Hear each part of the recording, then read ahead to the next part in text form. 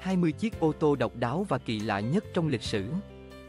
Không phải là những concept trong triển lãm, những chiếc xe này đã từng được chế tạo và sử dụng. Điểm chung của tất cả chúng là sự độc đáo và kỳ lạ. Một Chevrolet El Camino El Camino, một nỗ lực của hãng Chevrolet trong việc kết hợp giữa xe bán tải và xe cúp. Chevrolet đã bán chiếc xe này vào năm 1964. Chiếc El Camino đời 64 này có động cơ V8 300 mã lực mạnh mẽ, nhưng công suất đạt đỉnh vào năm 1970 khi động cơ 454 V8 450 mã lực ra đời. El Camino đã ngừng sản xuất vào năm 1987. 2. Xe đậu, Visa giờ được bớt ai, một công ty bán rau đông lạnh, đặt hàng cho một quảng cáo truyền hình năm 2005. Hạt đầu biết chạy này được chế tạo trên khung gầm của một chiếc xe go cát địa hình. Pizza giờ được thiết kế bởi công ty Asylum, London. Nó được trang bị động cơ Honda, có thể đạt tốc độ tối đa khoảng 60 dặm một giờ và được chế tạo bằng các tấm thân xe bằng sợi thủy tinh để tách ra trong quảng cáo. Pizza giờ hiện được trưng bày tại Unilever Ice Cream and Frozen Food Court, Anh. 1999 Fiat Multipa Fiat Multipla là một trong những chiếc xe có vẻ ngoài kỳ lạ nhất, thậm chí nó đứng đầu nhiều danh sách những chiếc xe xấu xí nhất từ trước đến nay. Cấu hình bên trong thì lạ, với hai hàng ghế, mỗi hàng ba ghế. Ngoại thất còn lạ hơn, với phần trên hình bánh nướng xốp và đèn pha được bố trí ngẫu nhiên khiến chiếc xe trông giống như côn trùng. Trên xe còn có hai hộp đựng găng tay mà dường như không có lý do gì. Oscar Mayer, xe bán xúc xích Oscar Mayer Wienermobile đã có mặt gần 100 năm.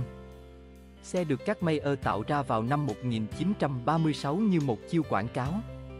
Hiện tại, luôn có 6 chiếc trên đường và thậm chí người Mỹ có thể truy cập trang web của Oscar Mayer để theo dõi chiếc xe gần bạn nhất và yêu cầu nó ghé qua nhà. Nó có động cơ Chevrolet V8 6.0 lít. Bên trong là 6 chiếc ghế màu mù tạc và tương cà sang trọng. 1921 Layat Helica, được tạo ra bởi nhà thiết kế máy bay hai tầng cánh người Pháp Marcel Layat. Layat Helica với trọng lượng nhẹ và hình thái khí động học. Helica có động cơ Harley Davidson V-twin, 2 xi lanh, 1000cc công suất 18 mã lực và thân xe bằng gỗ dán nhẹ, có trọng lượng 550 pound. Năm 1927, một chiếc Helica đã đạt tốc độ tối đa 106 dặm một giờ. Chỉ có 30 chiếc được chế tạo và có thông tin cho rằng đã bán được 23 chiếc. Cadillac Felito 75 1973 Chiếc Cadillac Felito 75 năm 1974 dài hơn 6, 4m và là chiếc xe sản xuất thông thường dài nhất từ trước đến nay mà không phải là xe limousine. Felito 75 thực tế được bán như một chiếc sedan 9 chỗ ngồi. Chiếc Cadillac này được trang bị động cơ V8 7,7 lít, 472 inch khối và mất 11 9 giây để đạt tốc độ 60 dặm một giờ. Người ta nói rằng xe chạy rất êm, nội thất rộng rãi và sang trọng so với thời đó.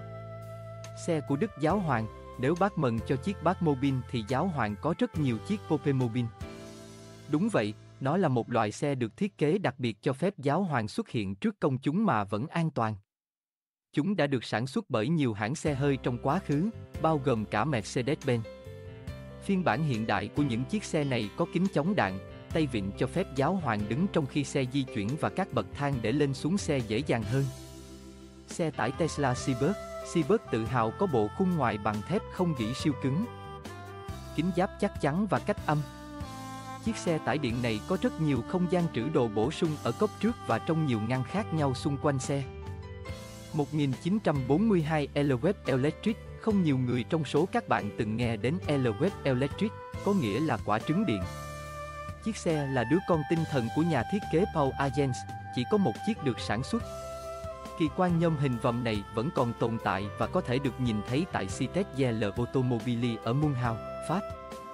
Ra đời trong bối cảnh thiếu xăng trong Thế chiến thứ nhì, chiếc ô tô nhỏ này có 3 bánh và động cơ điện.